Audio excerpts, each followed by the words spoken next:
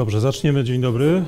E, Moje nazwisko Robert Szatkowski. E, Zajmuję się od e, wielu lat w firmie pracami na temat związanych z aplikacją webową. Dzisiaj chciałbym troszeczkę opowiedzieć o tym, co do tej pory na konferencjach nie było podnoszone, mianowicie o aplikacji webowej i jej strukturze, jak to wewnętrznie wygląda, więc troszeczkę kuchni od strony e, poszczególnych elementów, które są związane z, e, z tworzeniem tej aplikacji, jak ona, jak ona wygląda.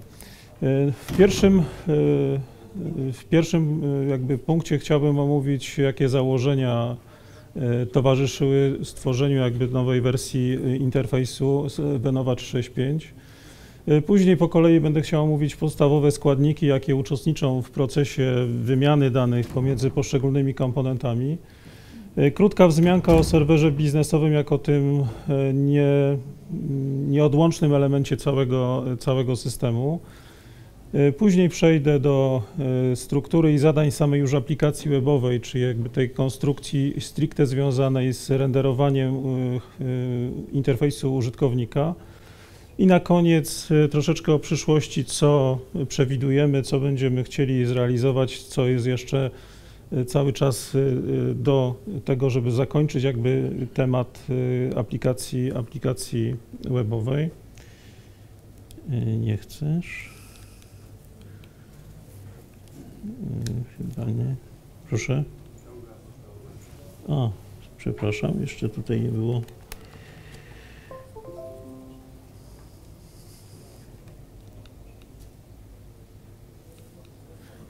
To przejdziemy na razie tak po kolei. E, Co należy do, e, należało do założeń, jakie e, kierowały nami podczas tworzenia nowego interfejsu HTML-owego? Był to jednolity mechanizm renderowania, to znaczy taki, który pozwoli po otrzymaniu odpowiednich danych z serwera odpowiednio wyrenderować to na różnych urządzeniach. Mieliśmy tutaj na myśli przede wszystkim wersję przeglądarkową, ale również wersję, e, wersję mobilną. E, Coś mi. Dobra, dobra, tylko on się nie chce zaświecić. Mhm, dobra.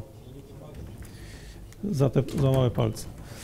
Y, Druga rzecz, oprócz tego chcieliśmy również, aby e, można było w oparciu o istniejące obiekty, istniejący protokół komunikacyjny stworzyć również inne wersje e, interfejsów. Jednym z takich przykładów jest, co prawda już na wymarciu, ale wersja WPF-owa, która również w oparciu o ten sam mechanizm komunikacji z serwerem pozwala odpowiednio wyrenderować sam, sam interfejs bez konieczności odwoływania się do obiektów biznesowych czy do samej, samej bazy danych. Kolejnym elementem była, był uniwersalny język, to znaczy taki, który, dzięki któremu będziemy w stanie e, no, te wszystkie elementy ująć w jedną, w jedną całość, tak żeby e, poszczególne interfejsy były renderowane w ten sam sposób, nie wymagające pisania k- dla, pod każdy interfejs e, innej logiki samego, samych formularzy, samych, e, samych list. Wspólna struktura klas i elementów. Tutaj położyliśmy nacisk sobie na przede wszystkim dwa te główne nasze interfejsy, czyli interfejs przeglądarkowy i interfejs mobilny.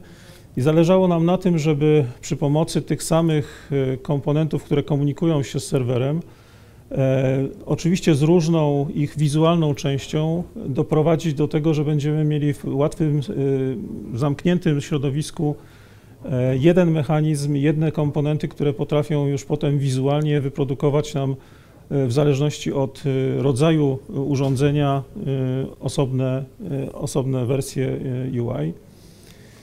I na samym końcu takim założeniem głównym była również konfigurowalność wyglądu, to znaczy nie na zasadzie ich zmiany struktury, layoutu, y, położenia, tylko tak, aby można było y, wygenerować swoje własne skórki, tak jak to miało miejsce w przypadku starego, starego wyglądu interfejsu.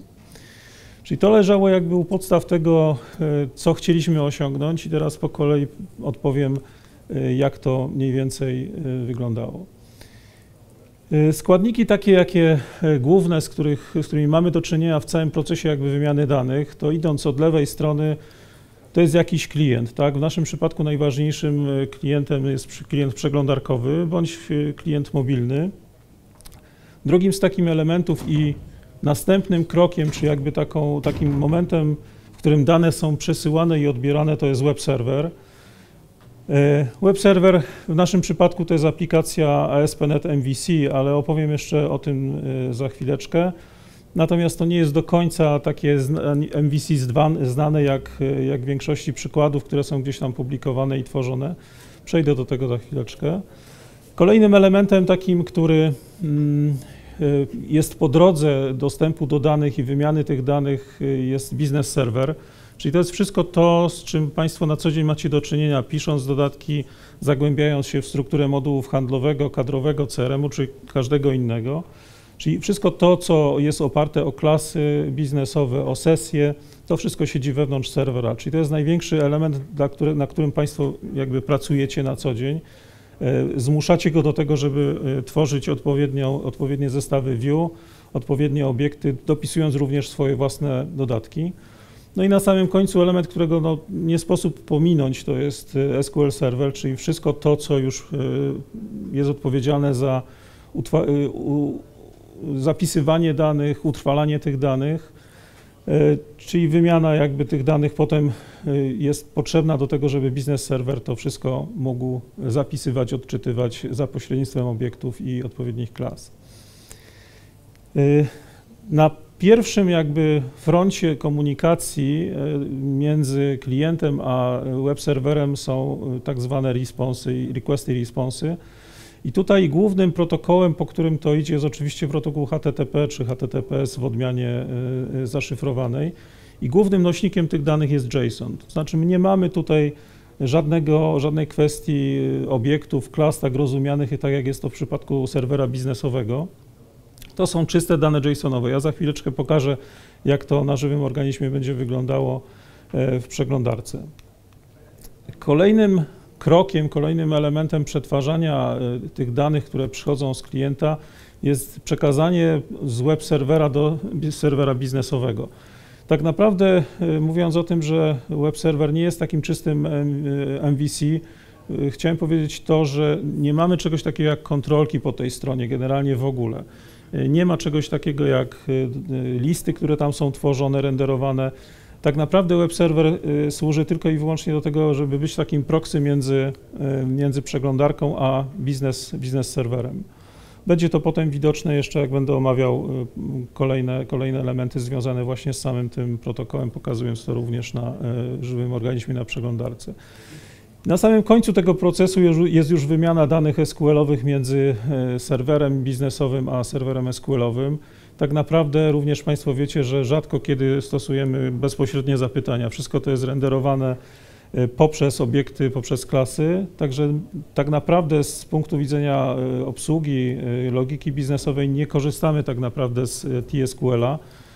Te dane po prostu są przesyłane e, za pośrednictwem i również wyłącznie poprzez nasze wewnętrzne klasy.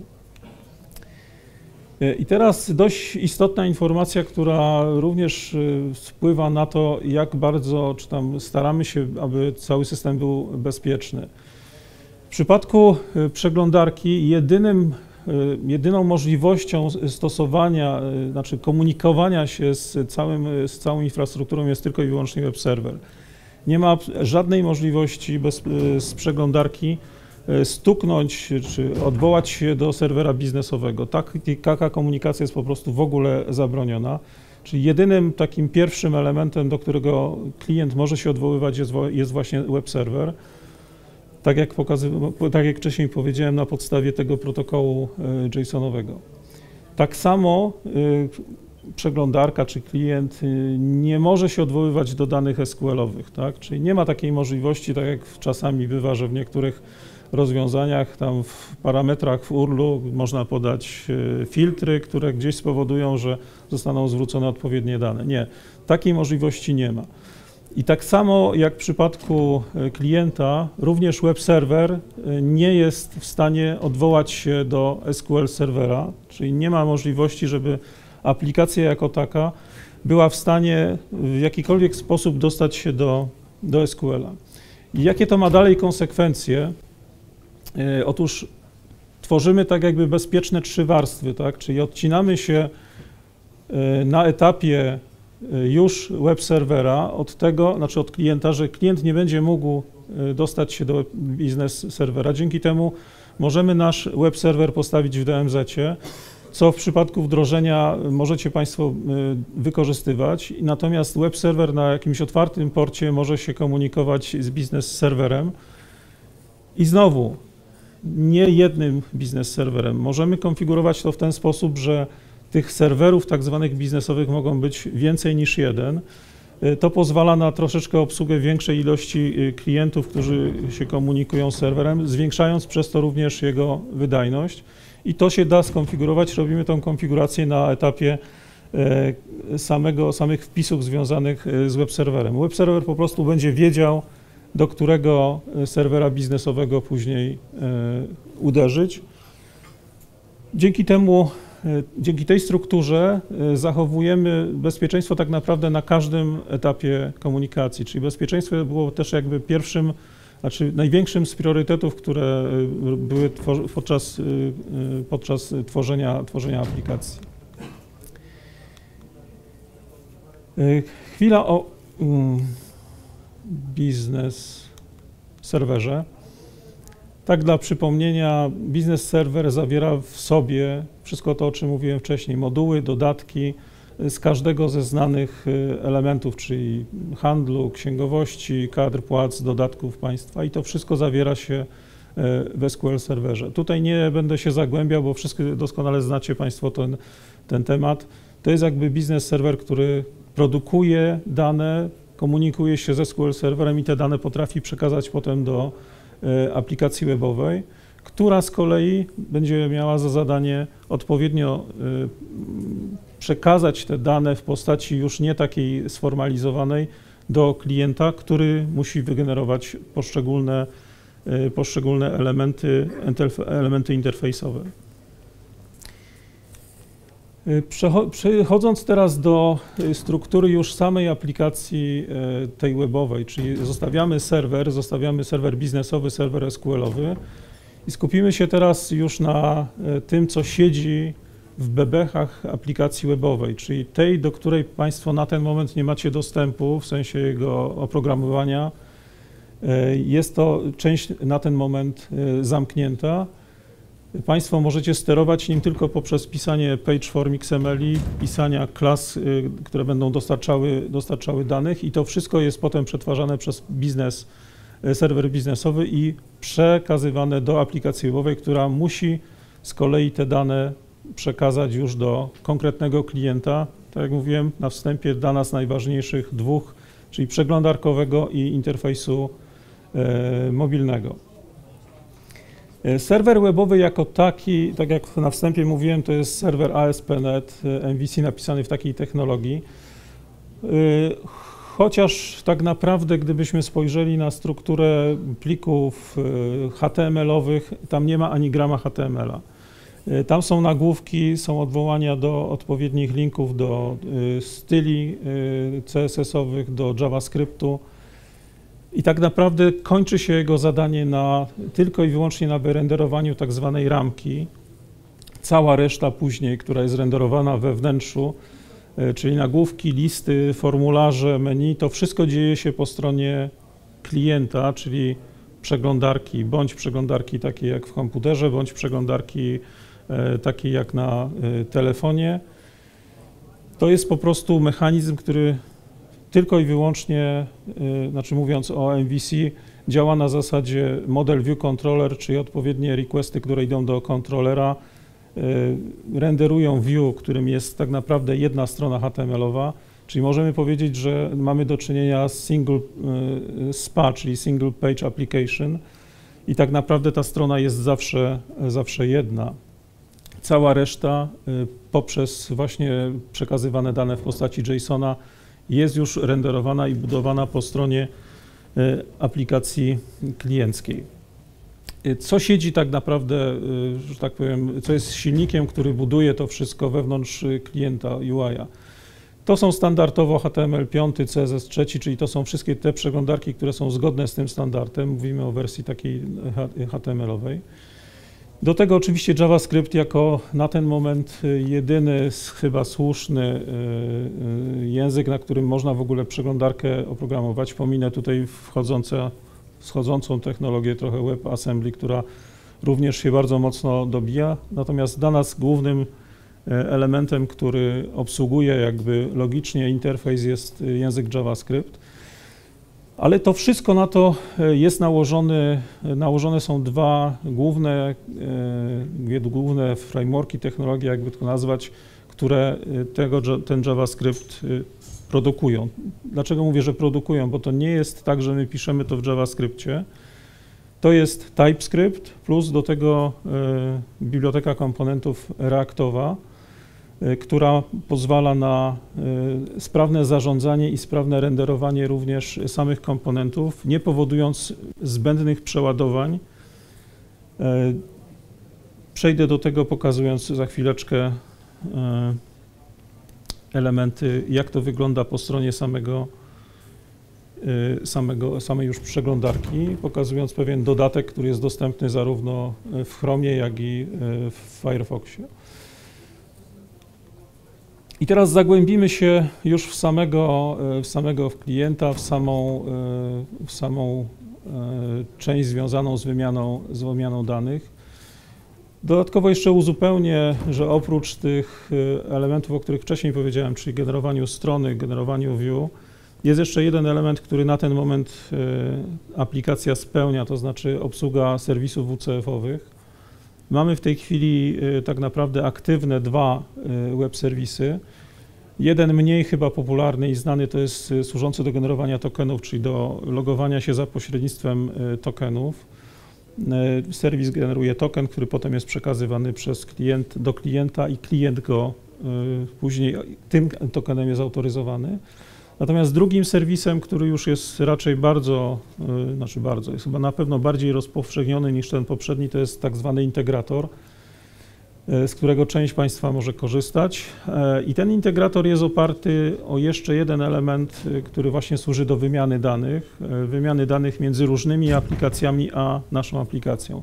Jest to w tym momencie jedyny element, dzięki któremu można bez pisania własnego serwisu wymieniać dane z różnymi aplikacjami, na przykład dane cenników między sklepem internetowym a EN-ową, y, czy wręcz całego, y, całych danych związanych z jakimiś y, listami magazynowymi, różnych elementów, które można przez ten serwis przepychać.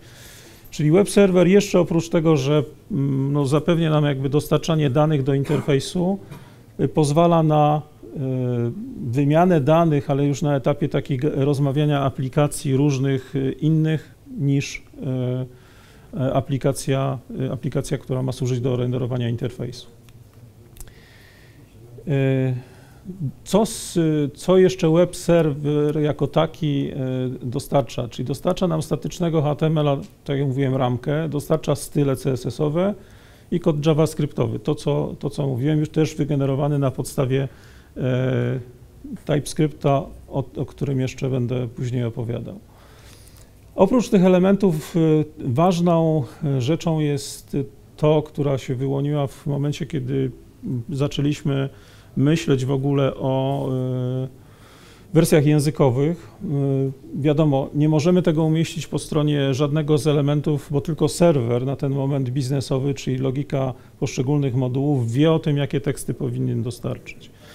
Więc z tego punktu widzenia, zanim web server prześle takie informacje dotyczące wersji językowej, języków jako takich, e, musi je zasilić i pobiera je właśnie z serwera biznesowego. Czyli między innymi oprócz tego, że w naszych modułach są oczywiście teksty, które wiadomo muszą być przetłumaczone, e, również pliki graficzne w postaci SV, które są zaszyte u nas, ale również każdy z partnerów może w dodatku taki plik zaszyć po to, żeby pojawiła mu się ładna ikonka na, na przykład na którymś z kafelków e, w menu głównym. Czyli to są jakby te podstawowe już elementy, które przekazywane, jak to przechodzi, e, skąd się biorą poszczególne elementy. Te po lewej stronie to są stricte statyczne rzeczy, które są bezpośrednio przesyłane e, do, do klienta i pośrednio elementy związane z wersją językową i plikami, mm, plikami graficznymi. Yy, ja może pokażę w tej chwili, jak mi się tylko uda, jak to wygląda od strony yy, samego UI-a. Tylko muszę zrobić zabieg, którego, na którym nie bardzo panuję. Może teraz będzie lepiej. Nie wiem, czy już jest w całości, już jest tak. Tylko, że tutaj to ja nic nie będę teraz widział.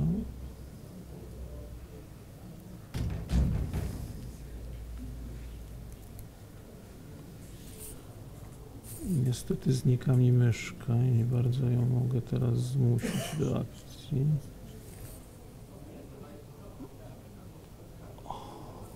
Sorry. O, trafsy, chłopie.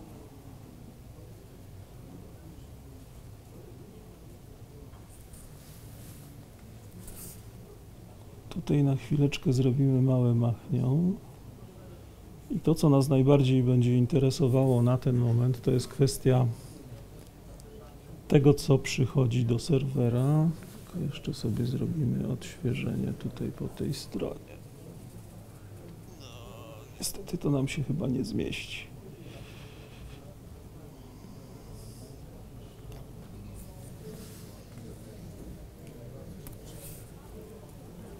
O, tak będzie lepiej. E, To, co widać e, tutaj po prawej stronie, to jest wygląd taki, jaki każdy może sobie włączyć w każdej przeglądarce, jeżeli ma tylko zainstalowaną kon- konsolę deweloperską. I teraz, e, jak widać tutaj na tym przykładzie, jest wymiana JavaScriptów. Tutaj mamy do czynienia z takimi magicznymi znacznikami one właśnie dotyczą przesłania samych tekstów, tekstów językowych i grafiki. Dodatkowo mogą się pojawić, e, e, dodatkowo mogą się pojawić jeszcze czcionki, jakieś ikony. W zasadzie plików graficznych jako nie, takich nie posiadamy. I to, co jest najistotniejsze w tym wszystkim, to są, to już jest execute, get start, get form, które się tutaj pojawiają. To są tak naprawdę trzy metody, dzięki którym następuje pełna wymiana danych między serwerem y, biznesowym a, y, jeszcze, przepraszam, serwerem webowym a samą przeglądarką. Spróbuję go jeszcze przejść, żeby zobaczyć, jak to w środku wygląda.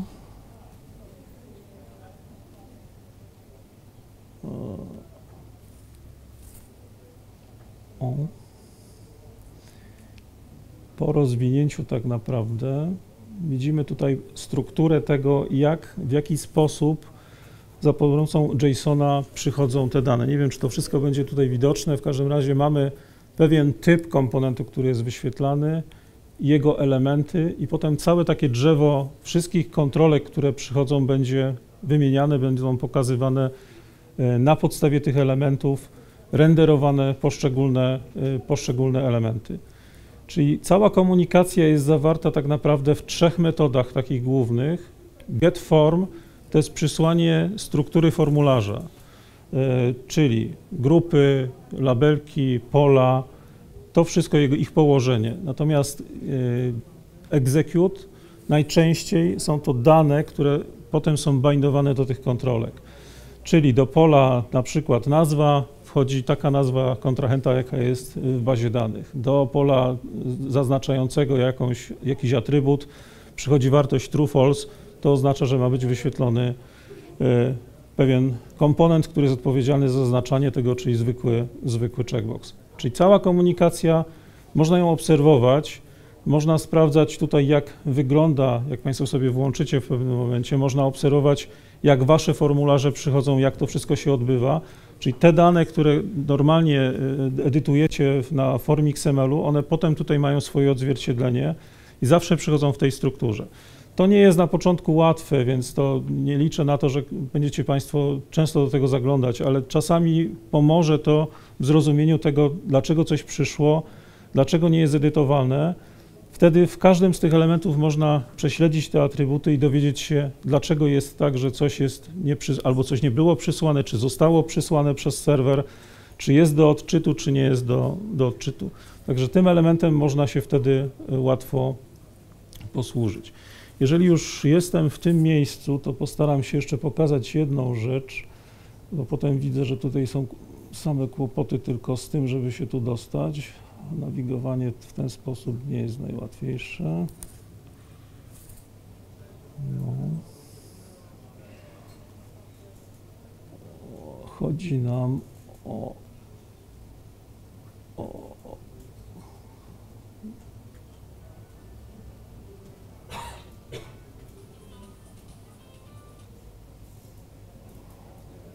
O, wreszcie.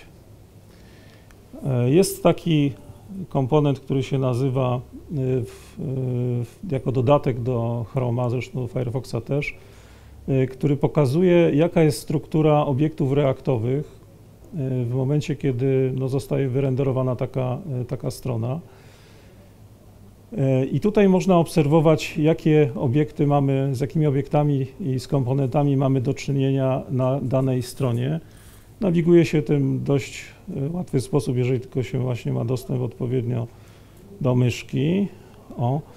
Czyli tutaj widać e, na poszczególne, jaka, jak jest skonstruowana cała ta strona, tak? Czy jest jakiś frame window, jest folder, czyli jakby pełna zawartość okna, scroll, który jest odpowiedzialny za scrollowanie strony, która się nie mieści, potem występuje komponent tile menu, tile group, i one wszystkie są tutaj e, e, renderowane w postaci już graficznych elementów. To są komponenty reaktowe, to jeszcze nie jest ich postać HTML-owa.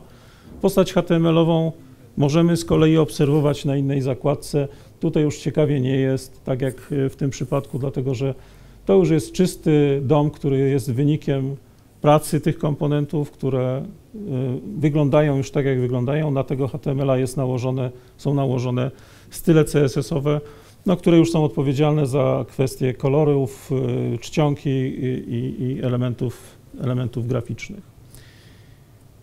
Y, tak wygląda ta struktura. Ja pozwolę sobie to już zamknąć, jak się uda. I wrócimy teraz już tutaj do tego elementu. Nie.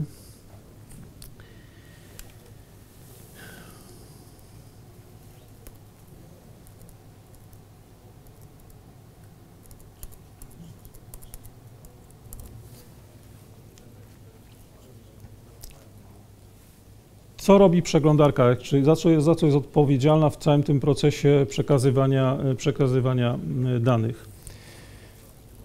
Renderowanie HTML-a, no to to jest rzecz oczywista, to znaczy, ponieważ nie zrobił tego serwer, nie przysłał HTML-a, no to musi to zrobić sam interfejs za pomocą tych komponentów, o których wcześniej y, powiedziałem.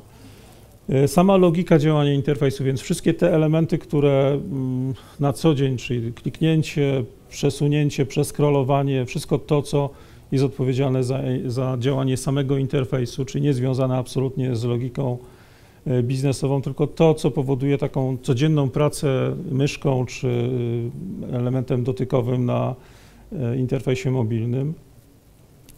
Kolejne to jest komunikacja z serwerem webowym, czyli komponenty, które pozwalają na zarówno z jednej strony odebranie danych, które przyszły z serwera, a z drugiej strony ich wysłanie. To są standardowe metody HTTP request, które pozwalają na wysłanie danych i odbieranie, nie będę się tutaj zagłębiał. I kolejnym elementem e, to są wszystkie te rzeczy, które są związane z bezpieczeństwem. I tutaj dość e, ważna uwaga. E, my sami jakby inicjujemy pewne badania, które pozwalają na zrobienie testów penetracyjnych, ich ocenę przez zewnętrzne firmy, ale też wiemy, że klienci mm, więksi potrafią zamawiać tego typu testy penetracyjne które pozwalają na zweryfikowanie, czy aplikacja jest bezpieczna, czy jest całkowicie niebezpieczna, czy w ogóle nadaje się do niczego. I o ile w początkowych, y, początkowych latach, kiedy zaczynaliśmy pracę, tych elementów było dość, że tak powiem, dość znacząca ilość, w tej chwili, jeżeli one się zdarzają, to są to y, drobiazgi, które są wskazywane jako rzeczy, które są może, może do zrobienia, ale nie są to elementy, elementy krytyczne. Natomiast cały czas jest to rzecz, którą musimy wykonywać cały czas, czyli jest to jakby jednym z głównych też e, naszych priorytetów, żeby cała ta komunikacja między poszczególnymi elementami e, e, aplikacji była zapewniona. Jest to praca, praca ciągła. Tak jak testy, tak jak obsługa błędów, tak samo bezpieczeństwo jest jakby też pewnym elementem, na który musimy zwracać cały czas uwagę. A jeszcze do tego należy nałożyć fakt no, różnych, różnej formy samych przeglądarek. Co prawda już jest troszeczkę lepiej, bo odpadł nam zupełnie Internet Explorer.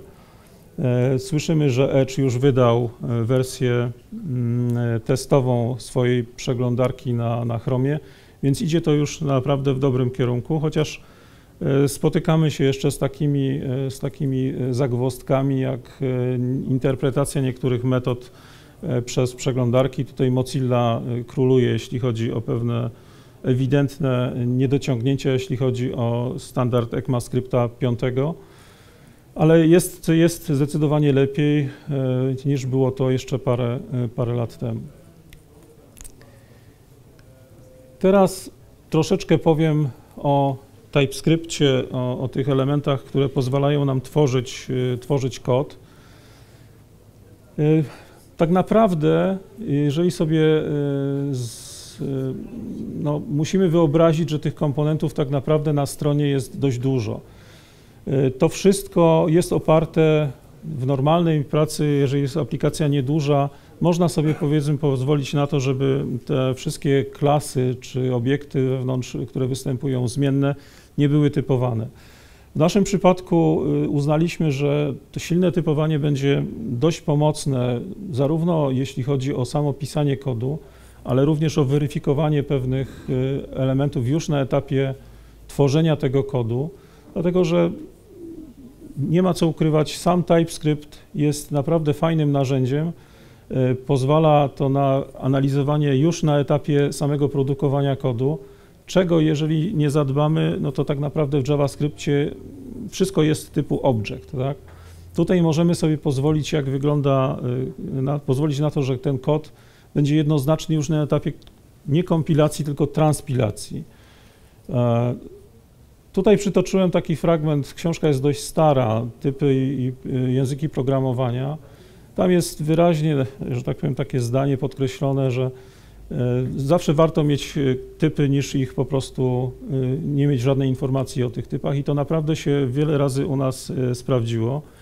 I to nawet już nie chodzi o same nasze klasy, tylko wielokrotnie, jak spojrzy się na definicję chociażby TypeScripta w sferze obiektów przeglądarkowych, obiektów doma, to naprawdę wiele rzeczy się potrafi wyjaśnić, jak wyglądają metody, jak wyglądają eventy, jak wyglądają E, wszystkie property w danym evencie, bo e, jeżeli weźmiemy event na przykład klik na myszce albo, kliknie, albo użycie klawiatury, e, zazwyczaj w takim tradycyjnym JavaScriptie pisze się jako parametr e czy tam arc i koniec, tak? Nic więcej o tym nie wiemy, dopiero póki nie wejdziemy do przeglądarki, zapułapkujemy się w tym miejscu, zaczniemy sobie czytać, aha, co tam przyszło. Jeżeli spojrzymy na, takie, na taką definicję w TypeScriptie, e, jest to jednoznacznie powiedziane, że jest tam target, który jest HTML elementem, że kliknięto w pozycję X, która jest z kolei numeryczna i tak dalej, i tak dalej.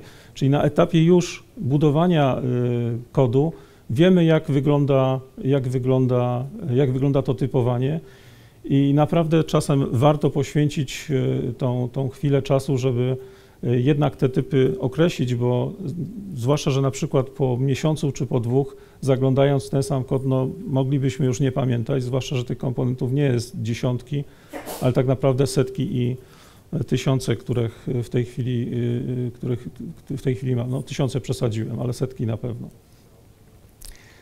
Poza tym y, trzeba sobie uzmysłowić, że TypeScript to nie jest język, który potem funkcjonuje na stronie. TypeScript jest tylko takim, taką przelotką, powiedzmy, która służy do wygenerowania kodu, kodu JavaScriptowego. W TypeScriptie można też pisać kawałki kodu JavaScriptowego, włączać y, własne kontrolki, czy, przepraszam, kontrolki innych firm jest to zawsze nadzbiór JavaScriptu, nie jest to żadne ograniczenie, a daje nam dodatkowo możliwości związane właśnie z tym silnym, silnym typowaniem. Stworzeniem klas tak naprawdę, stworzeniem wszystkiego tego, co tak samo daje nam C Sharp, czyli interfejsów, typów generycznych, E, struktur danych, e, tablic, dictionary itd., tak itd. Tak to wszystko jesteśmy w stanie e, tą techniką zrobić. I tak jak powiedziałem, jest to nadzór JavaScriptu i w wyniku tak zwanej nie kompilacji, tylko transpilacji kodu do ECMAScripta, ECMAScripta 5, bo ten w tej chwili jest obowiązujący, dzięki temu w przyszłości, kiedy zostanie przełączona wajcha na ECMAScript 6, nie będziemy się zastanawiali, czy cały ten kod należy przejrzeć od początku do końca i wyłapać miejsca, w których się to zmieniło. E, taka jest przynajmniej nasza nadzieja, że w momencie, kiedy standardem obowiązującym jest ECMAScript 6, który już powoli, aczkolwiek no właśnie nie do końca się pojawia w tych nowszych przeglądarkach, że wszelkie niuanse zostaną załatwione przez ten e, tak zwany e, ten proces transpilacji i w wyniku dostaniemy kod JavaScriptowy którego tak naprawdę w ogóle nie dotykamy, którego w ogóle nie edytujemy, e, a pozwala to nam na, będzie nam to, pozwoli nam to na to, żeby uzyskać ten kod JavaScriptowy zgodny już z konkretną wersją ECMA, ECMAScriptu. Dodatkowy element, taki no, już dość mocno wizualny, to jest e, wsparcie, jeśli chodzi o IDE, zarówno od strony Visual Studio. Tutaj koledzy mówili, że jest ciężki, to się, to się zgadza. I jeżeli e, weźmiemy pod uwagę e, dewelopera, który jest e, klasycznym frontendowcem, to on nie potrzebuje w ogóle Visual Studio. Wystarczy mu Visual Code, który jest naprawdę świetnie przygotowany do edytowania zarówno TypeScripta, jak i też JavaScripta, ale też SCSS-ów, więc można w bardzo prosty i szybki sposób zrobić sobie fajne środowisko do pracy. IntelliSense jest o wiele lepszy niż w przypadku Visual Studio i naprawdę można na tym fajnie, y, fajnie pra, pra, popracować. Nie mówię, że jest VS Code jedynym, bo i pewnie Sublime można by było w ten sam sposób wykorzystać do tego, ale jeśli chodzi właśnie o obsługę samego języka, to również inne środowiska, nie tylko Visual Studio, dają, dają naprawdę y, fajne możliwości, jeśli chodzi o wsparcie mm, związane z TypeScriptem. I ostatni element, już taki może troszeczkę e, Mm, mało istotny w tym wszystkim, ale jednak w zespole, który buduje cokolwiek i ma jakąś perspektywę kilku lat, e, jest łatwiejsze wejście w programowanie na przykład osoby, która zajmowała się do tej pory C-Sharpem, ale zna e, Object Oriented, Object Oriented Programming, jest w stanie łatwo i szybko wejść w te wszystkie elementy związane e, z kodowaniem, z kodowaniem właśnie, właśnie w TypeScriptie. Więc jest to jeden z elementów, który dla nas też był dość, dość istotny. I teraz jeszcze krótko o samym Reakcie. Mm, React y, jest to biblioteka tak naprawdę pozwalająca tworzyć y, interfejs y, HTML-owy ze swoimi komponentami i ze swoją trochę filozofią jakby działania. E, I co jest istotne jakby w jej całym funkcjonowaniu, to co też było dla nas bardzo istotne, nie służy do, nie, nie mamy do czynienia z przeładowywaniem całego HTML-a, tylko jeżeli zakładamy, klikamy w jakiś przycisk, tak, i on ma zmienić jakąś jedną wartość w innym miejscu formularza czy listy, to tak naprawdę React czy komponent reaktowy, jeżeli dostanie informację, że ta dana została zmieniona, to ona wewnętrznie, pod spodem, zupełnie nie, niewidocznie, ma coś takiego jak wirtualny dom, który przetwarzany jest wewnętrznie przez te komponenty. Jeżeli w wyniku y, danych następuje różnica między tym, co było wcześniej, a tym, co jest wynikiem nowych danych, które przyszły, on dopiero powoduje, że sam HTML zostanie podmieniony. Czyli nie mamy do czynienia, tak jak w większości być może, y, znaczy na pewno w podejściu MVC, że cała strona jest przeładowywana, czy we wcześniejszych y, wersjach ASP.NET, gdzie nawet całe y, strony były przeładowywane z view state'em, który był jednym wielkim koszmarem, Tutaj zmieniając jedną rzecz, zmieniamy tylko ten fragment HTML-a, który tak naprawdę jest zmieniany, jeżeli faktycznie coś, doszło, coś się zmieniło. Czyli cała ta filozofia tej biblioteki, którą warto według mnie stosować, e, jest naprawdę, sprawdza się w takim, w takim użyciu i w takim kontekście, jak to wygląda. Ona ma również wsparcie, wsparcie TypeScripta, i to też na bardzo dobrze opisanym IntelliSensie, który naprawdę w pierwszych momentach pomaga, pomaga zrozumieć, jak to wszystko wygląda. Y, klasy są zamknięte jakby w takie dedykowane komponenty, to już po, po, zupełnie po naszej stronie.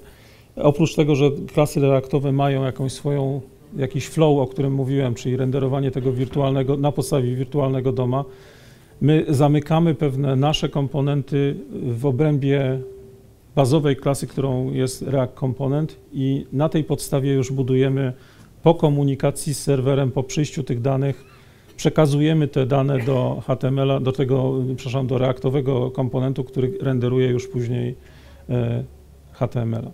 Czyli tak wygląda ta część związana z produkowaniem e, tego jednego e, elementu, którym jest JavaScript. Używamy TypeScripta, używamy Reacta i na tej podstawie otrzymujemy środowisko, które potrafi nam wyrenderować po pierwsze interfejs przeglądarkowy, a po drugie interfejs również mobilny, bo to też jest istotny element tego wszystkiego, że te same komponenty komunikują się w ten sam sposób y, z serwerem y, y, webowym i potrafią wygenerować już HTML-a, ale z lekką modyfikacją dotyczącą, no wiadomo, wielkości urządzeń, na które ten interfejs jest renderowany. Więc to też było pewnym takim założeniem i celem, który wydaje się został osiągnięty. Zresztą w przeglądarce można również to e, zobaczyć, jeżeli Państwo odpalają taką, taką rzecz. I teraz jeszcze krótko e, wspomnę o samej, samej strukturze e, samych już klas wewnątrz przeglądarki. To tak jak mówiłem, klasy wymiany danych, czyli te, które się bezpośrednio komunikują z web serwerem, komponenty, które zbierają te dane, potrafią rozpoznać, czy jesteśmy w takim czy innym środowisku, czyli przeglądarkowym czy mobilnym. Na samym spodzie to już są kontrolki UI, czyli te, które e, widziane jako domowe, czyli input, checkbox, div i tak dalej, i tak dalej, które potrafią to wszystko e, już fizycznie e, wzmocnione strukturą styli CSS-owych pokazać na, na ekranie oknie przeglądarki.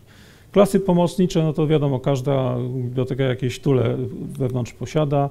Klasy bazowe browsera i javascriptowe, czy jakby całe biblioteki JavaScriptu oczywiście też w tym wszystkim biorą, e, biorą udział.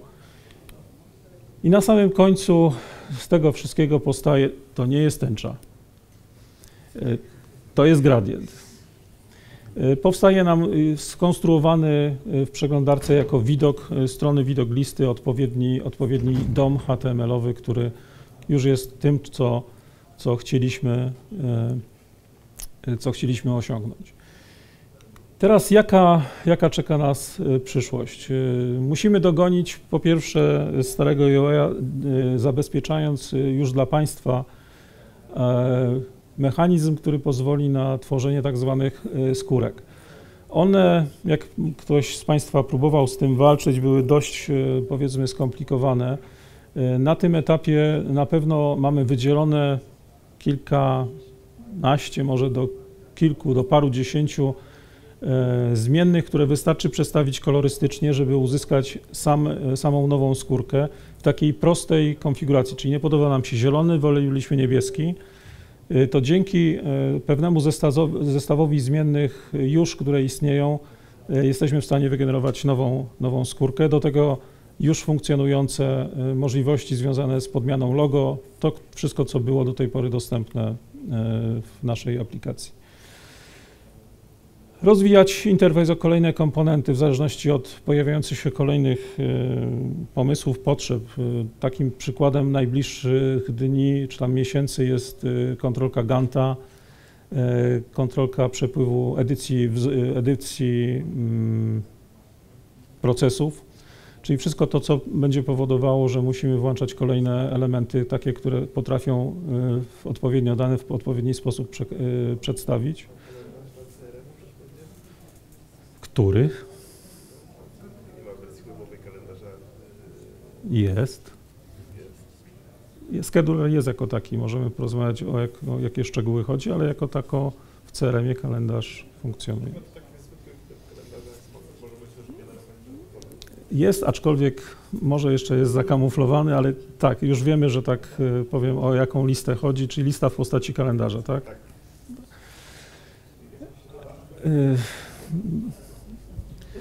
Przychodzi mi na myśl Pinokio, tak, w Szreku. Nie potrafię powtórzyć tej, tej wersji w całości. E, rozwijanie bieżące z uwzględnieniem zmian w Reakcie i TypeScriptie. Tutaj e, bardzo mocno React jest zmieniany. To nie jest martwa biblioteka, ona cały czas żyje, więc kolejne e, wersje się pojawiają i tutaj musimy cały czas kontrolować to wszystko. Wersje przeglądarek się też zmieniają, ale jak mówiłem, to się już w jakiś tam sposób ustabilizowało i w zasadzie ten główny nurt, czyli mm, Chrome, Edge, Mozilla, nawet Opera, ostatnio też sprawdzałem, w większości są w stanie pociągnąć ten, ten interfejs. Są tam jeszcze jakieś niuanse, zwłaszcza w Operze, ale myślę, że to jest kwestia y, jeszcze przynajmniej wersji, że to wszystko zostanie y, wygładzone.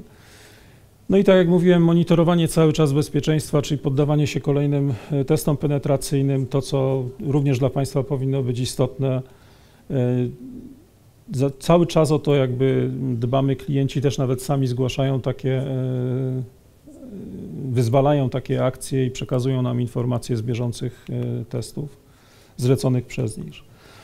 Czeka nas w pewnym momencie, jak mówiłem, e, zastąpienie tych serwisów WCF-owych, które mamy, serwisami restowymi. Tutaj to jest związane też z pewną ideą, która chyba nam się uda zrealizować, to znaczy Y, pójście troszeczkę śladem wszystkich, którzy to robią tak naprawdę, czyli przeniesienie z ASP.NET MVC na ASP.NET Cora, co spowoduje, że niestety w samym korze serwisów WCF-owych jako takich nie ma, więc musimy to wszystko zrobić w taki sposób, żeby spowodować wymianę za pomocą również danych poprzez JSON-a, nie poprzez SOAP-a, i to będziemy starali się robić po to, żeby uzyskać możliwość przeniesienia się z całą infrastrukturą jakby na wersję ASP.NET Core, która no, da nam troszeczkę jeszcze inne możliwości odpalania również na innych, na innych środowiskach, nie tylko na samym IIS-ie, z tak zwanego self-hosting application.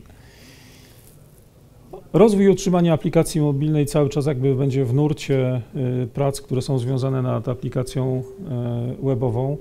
E, ona też jest tam w jakimś stopniu naszym e, oczkiem w głowie, chociaż będziemy starali się złożyć nacisk przede wszystkim na realizowanie pewnych procesów, które mają miejsce w poszczególnych pulpitach, bo obsługa pełna ERPA w telefonie jest raczej taka mało sympatyczna, więc to na pewno nie tędy droga. Natomiast jeżeli będziemy chcieli, będziemy chcieli bardziej zwrócić uwagę na pewne procesy, czyli sam workflow, który gdzieś z poziomu, e, z poziomu pulpitów będzie e, cały czas e, obecny, czyli zakładanie, nie wiem, kolejnych, kolejnego użytkownika, być może w jakimś pulpicie i tak dalej, i tak dalej, czyli wszystko to, co jest związane z małymi procesami, a nie z pełną aplikacją.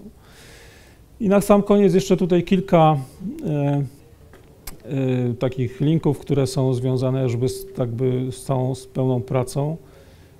TypeScript Lang, ewentualnie dla chętnych. Zachęcam do zobaczenia, przynajmniej przyglądnięcia się, być może nawet w swoich rozwiązaniach będziecie Państwo w stanie ich, albo chcieli to zastosować. To są linki jakby do generalnie e, opisu samej biblioteki reaktowej, skąd można go tam sobie ściągnąć. I tu jest poniżej zestaw e, wszystkich takich napisanych komponentów reaktowych, które są za darmo, które można wykorzystać, e, tworząc jakieś swoje rozwiązania. Więc to na pewno polecam. I na sam koniec jest jeszcze ten serwis WCF-owy. Tutaj padło taka kiedyś sugestia od kolegów, żeby wyjaśnić. E, ten serwis do wymiany danych, on był prezentowany 2-3 lata temu już. E, więc tu jest jego opis do dokumentacji wewnątrz, e, wewnątrz naszej bazy, bazy wiedzy. To ja dziękuję w takim razie bardzo jeszcze raz.